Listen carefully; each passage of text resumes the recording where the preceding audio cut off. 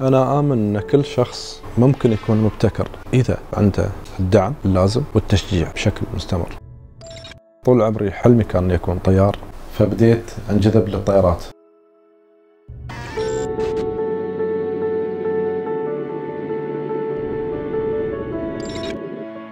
أنا تمكنت أني أستغل موضوع الطائرات المسيرة لخدمة المجتمع بشتى الأنواع.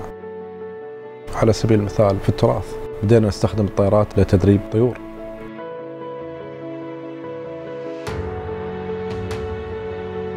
أنا أخذت الإلهام من حياة من والدنا الشيخ زايد رحمة الله عليه الإصرار والمثابرة والاجتهاد.